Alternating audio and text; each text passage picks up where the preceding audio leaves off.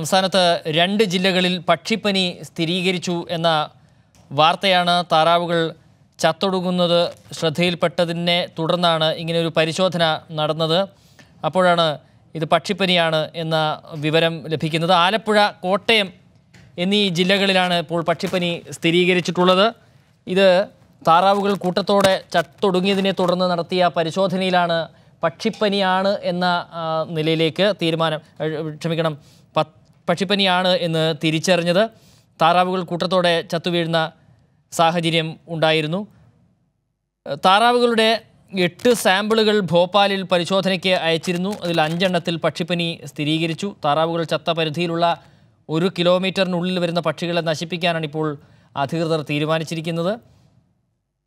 അലങ്കാര പക്ഷികൾ വളർത്തു പക്ഷികൾ ഉൾപ്പെടെ ഈ ഇതിനകത്ത് വരും എന്നുള്ളതാണ് ഒരു പ്രശ്നം. കർഷകർക്ക് സംഭവിച്ച നഷ്ടപരിഹാരം മുഖ്യമന്ത്രിയുമായി ആലോചിച്ച് തീരുമാനിക്കും എന്ന ഒരു തീരുമാനം കൂടി വന്നിട്ടുണ്ട്. ഇപ്പോൾ തിരുവനന്തപുരത്ത് നിന്ന് ഗോകുൽ നമ്മോടൊപ്പം തത്സമയം ചേരുകയാണ്. പക്ഷിപ്പനിയുമായി ബന്ധപ്പെട്ട് ആരോഗ്യ വകുപ്പ് എന്താണ് പറയുന്നത് എന്ന് സംബന്ധിച്ചൊക്കെ ഉള്ള വിശദാംശങ്ങൾ നൽകാനായി. ഗൂഗിൾ പക്ഷിപ്പനി സമീപ ദിവസങ്ങളിൽ ഇങ്ങനെ കൂട്ടത്തോടെ താറാവുകൾ ചത്ത് ഒടുങ്ങുന്നത് കണ്ടു. നേരത്തെ ഒരു കുറച്ച് കാലം മുമ്പ് ഇങ്ങനെ പക്ഷിപ്പനി ആലപ്പുഴയിലും കോട്ടയത്തുമൊക്കെ റിപ്പോർട്ട് ചെയ്തിരുന്നു. അതിനെ വളരെ കാര്യക്ഷമമായ നിലയിലുള്ള പരിശോധനകളും നടപടിക്രമങ്ങളും ഒക്കെ കൊണ്ട് നമുക്ക് ഒഴിവാക്കാൻ സാധിച്ചിരുന്നു അല്ലെങ്കിൽ പൂർണമായും മാറ്റാൻ സാധിച്ചിരുന്നു. ഇപ്പോൾ വീണ്ടും പക്ഷിപ്പനി വന്നിരിക്കുന്നു. എത്രത്തോളം ജാഗ്രതയോടുകൂടിയാണ് ഈ കാര്യങ്ങൾ ഈ കാര്യങ്ങളെ ആരോഗ്യവകുപ്പ് കാണുന്നത്? ഇപ്പോൾ നമുക്ക് ലഭിക്കുന്ന വിവരം എന്താണ്?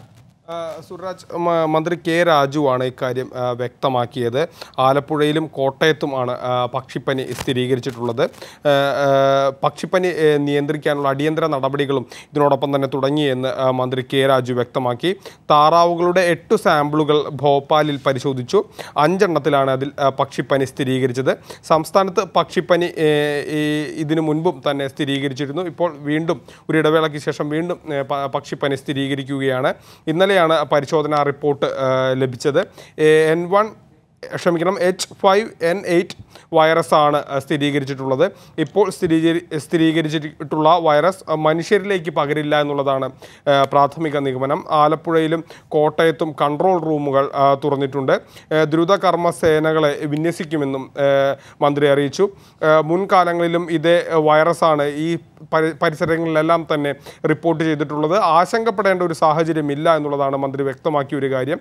പന്ത്രണ്ടായിരത്തോളം താറാവുകളാണ് ഇതിനോടകം തന്നെ ഈ രണ്ട് മേഖലകളിൽ ചത്തൊടുങ്ങിയിട്ടുണ്ട്. മുപ്പത്താറായിരത്തോളം താറാക്കൾ ഉൾപ്പെടെ ഇതിന്റെ ഒരു ഭാഗമായി കൊല്ലേണ്ടി വരുമെന്നുള്ളതാണ് മന്ത്രി വ്യക്തമാക്കിയ ഒരു കാര്യം.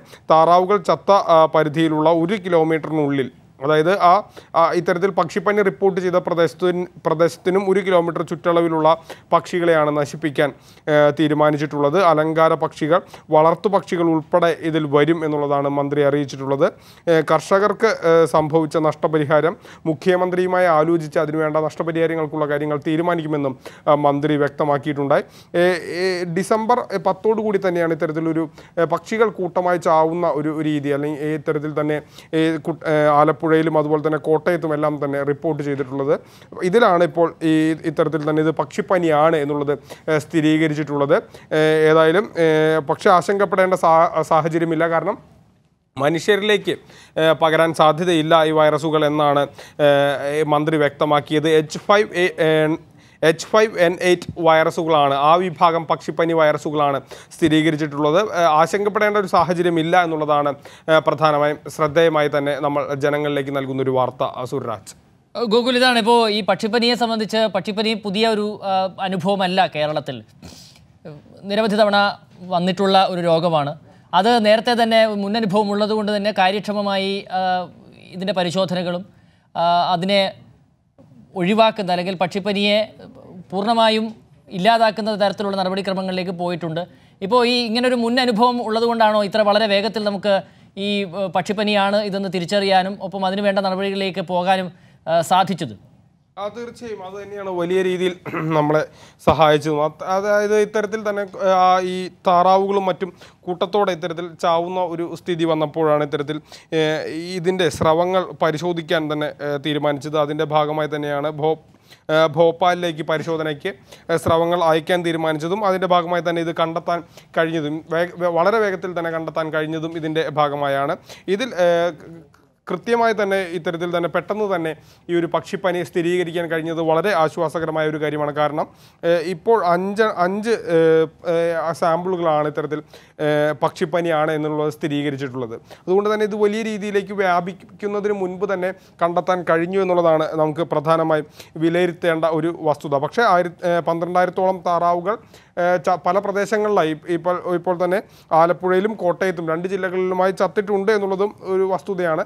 അത്തരത്തിൽ തന്നെ രണ്ട് പ്രദേശങ്ങളിലുമായി പന്ത്രണ്ടായിരത്തോളം താറാവുകൾ ചത്തിട്ടുണ്ട്. അതിൽ നിന്നാണ് ഇത്തരത്തിൽ ഈ- ഒരു പരിശോധനകൾ നടത്തിയത്. എട്ട് സാമ്പിളുകളിൽ അഞ്ചെണ്ണം പോസിറ്റീവായി ഇത് ഇത്തരത്തിൽ പക്ഷിപ്പനിയാണെന്ന് സ്ഥിരീകരിക്കുകയുമുണ്ടായി. വലിയ രീതിയിലേക്ക് ഇത് വ്യാപിക്കുന്നതിന് മുൻപ് തന്നെ കണ്ടെത്താൻ കഴിഞ്ഞു എന്നുള്ളത് തന്നെ ആശ്വാസകരമായ ഒരു കാര്യമാണ് കാര്യമാണ്. പക്ഷേ ഈ ഈ വൈറസ് സ്ഥിരീകരിച്ച പ്രദേശത്തിനും ഒരു കിലോമീറ്റർ ചുറ്റളവിലുള്ള പക്ഷികളെ നശിപ്പിക്കേണ്ടി വരും എന്നുള്ളതാണ് മന്ത്രി വ്യക്തമാക്കിയൊരു കാര്യം. അല്ലെങ്കിൽ ഈ വൈറസ് ഒരുപക്ഷെ പടർന്നു പിടിക്കാനുള്ള ഒരു സാധ്യതയുണ്ട്. അത് നിലനിൽ അത് ഒഴിവാക്കുന്നതിന് വേണ്ടിയാണ് ഇത്തരത്തിൽ ഈ ഒരു ഒരു കിലോമീറ്റർ ചുറ്റളവിലുള്ള പ്രദേശത്തെ പക്ഷികളെ കൂട്ടത്തോടെ നശിപ്പിക്കേണ്ട ഒരു ആവശ്യം നിലനിൽക്കുന്നത് അല്ലെങ്കിൽ ഒരു പക്ഷേ ഇത് ഈ ഒരു വൈറസ് വീണ്ടും വ്യാപിക്കാനുള്ള ഒരു സാഹചര്യം നിലവിലുണ്ട്. അതിനെ പ്രതിരോധിക്കുന്നതിന് വേണ്ടിയുള്ള തയ്യാറെടുപ്പുകളും സർക്കാർ നടത്തിയിട്ടുണ്ട് സുരാജ്. അതെ അത് തന്നെയാണ്. ഇപ്പോൾ ഈ നേരത്തെ തന്നെ ഇത് തിരിച്ചറിയാൻ നമുക്ക് സാധിച്ചു. മനുഷ്യരിലേക്ക് പടരില്ല എന്ന നിലയിലേക്കുള്ള ഒരു ഉറപ്പ് ഇപ്പോൾ ആരോഗ്യവകുപ്പിന് കൃത്യമായി നൽകാൻ കഴിയുന്നത് എന്തുകൊണ്ടാണ്? ഈ എന്തുകൊണ്ടാണ് ഗൂഗിൾ ഗോകുൽ? അത് വ്യക്തമായി പറയുന്നത് എച്ച് ഫൈവ് എൻ എയ്റ്റ് ഇനം വൈറസുകളാണ്. പക്ഷിപ്പനി സ്ഥിരീകരിക്കുന്ന വൈറസുകളാണ് സ്ഥിരീകരിച്ചിട്ടുള്ളത്. ഇത് മനുഷ്യരിലേക്ക് കടക്കില്ല എന്നുള്ളതാണ് വ്യക്തമാകുന്ന ഒരു കാര്യം. പ്രാഥമികമായും വ്യക്തമാകുന്ന ഒരു കാര്യം. അത് അതാണ് അതുകൊണ്ട് തന്നെയാണ് ഇത് ആശങ്കപ്പെടേണ്ട ഒരു സാഹചര്യം ഇല്ല എന്നുള്ളതും മന്ത്രി വ്യക്തമാക്കിയതും. അത് അതുകൊണ്ട് തന്നെയാണ്. ശരി ശരി. ഗൂഗിൾ ആണ് വിവരങ്ങൾ പങ്കുവച്ചത്. തിരുവനന്തപുരത്ത് നിന്നും.